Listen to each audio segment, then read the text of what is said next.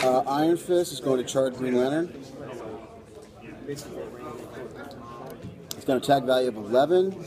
He's also got uh, Close Combat Expert, which gives him a plus 2, which makes it 13. And he's got a modifier depending upon what the final result is that can modify his damage value. Right now, his damage value is 3. Let me see what Green Lantern has. Let me see Green Lantern's card real quick.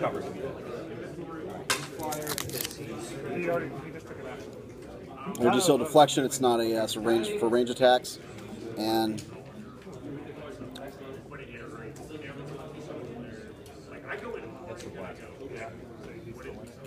oh, I mean, his new is eight. It's possible to get out of eight. okay. You have perplex as well, so you gotta remember to use that in the future, right?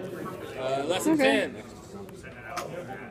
So basically, I'm at 11 on 17 for three damage. So I got to roll. Well, actually, maybe more. So three or four, possibly. 11 on 17. So 13 on 17. I got to get four. You'll, you'll sell it for that one. I'm just waiting for the Yeah, dead. so. seven. So I got him. Let's see, seven plus, plus uh, 20. So yeah. So he gets. Uh, Green Lantern takes four damage.